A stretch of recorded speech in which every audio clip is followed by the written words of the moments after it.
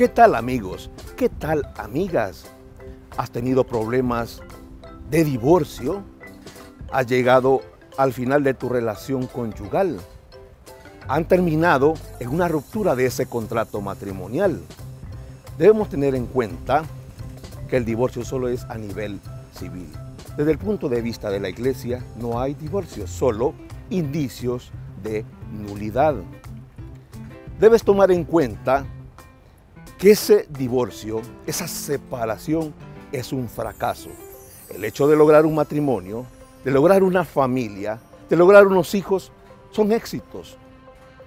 De meditar todo eso viene como consecuencia de ese divorcio. Debemos tomar en cuenta que esa separación es como una catástrofe, como un tsunami, como un tornado. Y es necesario ponerle cura a todo esto. No debes obsesionarte con nuevas relaciones de parejas, porque tiende con esto a empeorar las cosas.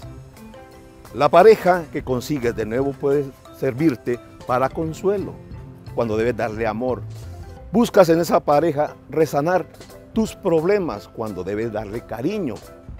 Es necesario entonces no obsesionarse con nuevas parejas.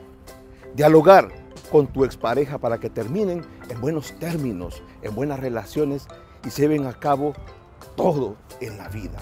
Es necesario que busques al profesional de la psicología o de la psiquiatría para que te ayude a sobrellevar la vida. Siendo tú feliz a pesar de este divorcio, será la persona más contenta de este universo.